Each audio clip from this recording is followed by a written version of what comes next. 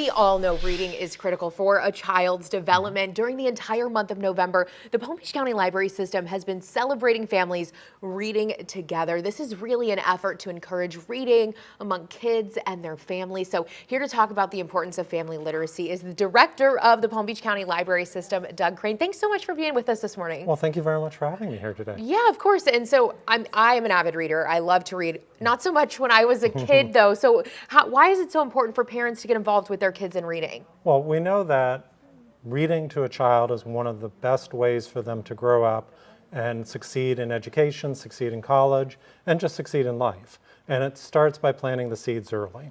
And that's where at the library system, we encourage families to come together. So because we see that in a household where everyone is reading, that encourages the children to enjoy a love of reading as well. Oh, that's great advice too. And do you have any tips for parents about what they can do at home to, you know, some kids they may prefer, well, I want to watch my iPad before I go to bed or I want to play this game. How do you get them excited about reading? Well, one way to do that is to make it a family event.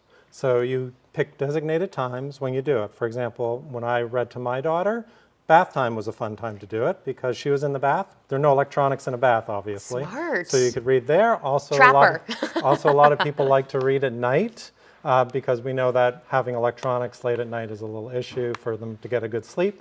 But reading a good book is a wonderful way to help them get to bed. Absolutely. And it's still a wonderful way to get to bed, even as an mm-hmm. adult. But you guys recently partnered with a lot of organizations to create the Power of 15 initiative. What is that? Well, the Power of 15 initiative is something that many countywide organizations, including the library, are part of.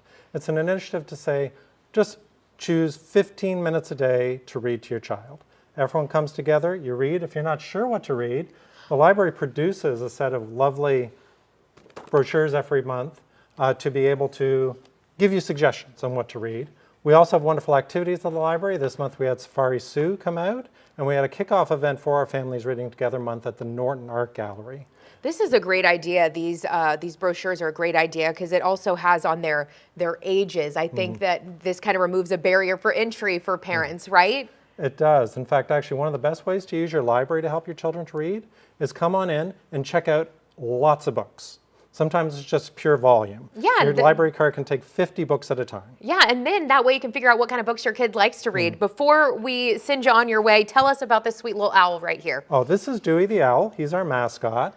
And he will be traveling around our library system on, and you'll be able to watch his exploits on social media throughout the month of December to learn more about what your library offers you every day. Awesome. Thank you so much for being here. Doug Crane with the Library System. We really appreciate it. If you want more information about anything we just talked about, it's on our website, WPBF.com. We'll also have a link there to all of the library's resources. Aaron?